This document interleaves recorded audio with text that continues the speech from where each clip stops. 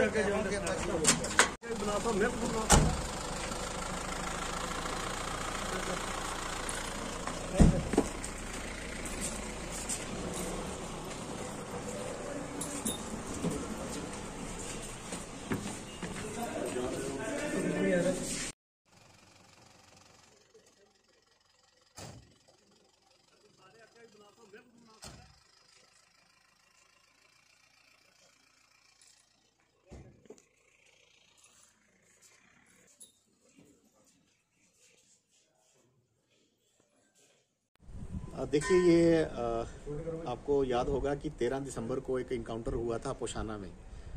Police station सुरन court की जुडिक्शन में आता है। और जब हम इनकाउंटर के बाद जब उसकी तफ्तीश की गई इन्वेस्टिगेशन की गई तो उसके लिंक्स जो थे वो पीछे जुड़ते गए। और इसी लिंक्स के बेसिस पे हमने बालाकोट सेक्टर में और फिर जो नक्का मजाड़ी है, वहाँ से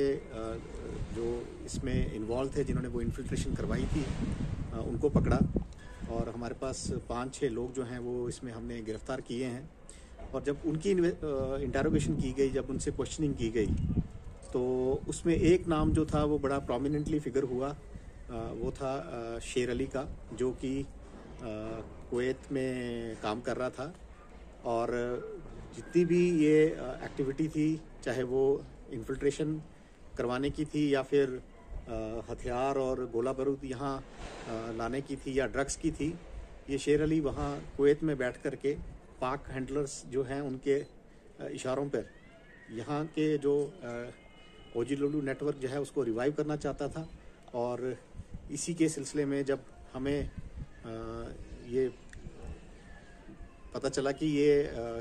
इस समय कुवैत में है तो हमने इसकी जो मूवमेंट है उसको ट्रैक करना शुरू किया। और जब ये कल जम्मू एयरपोर्ट पे पहुँचा तो हमारी टीम जो है जिसमें S D P O Mendhar Zaheer और उनके साथ जो उनके लड़के थे, उन्होंने वहाँ उनको,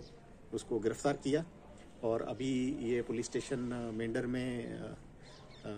रखा गया है और जो भी लीगल फॉर्मेलिटीज़ हैं, वो हम लोग कर रहे हैं। और फर्दर जो इसकी क्वेश्चनिंग होगी उसी से पता चल पाएगा कि आगे इनका इसके और क्या प्लान थे और किस तरह के मंसूबे लेकर के ये चल रहा था। सर कौन सा था सर? ये एक नया आउटफिट है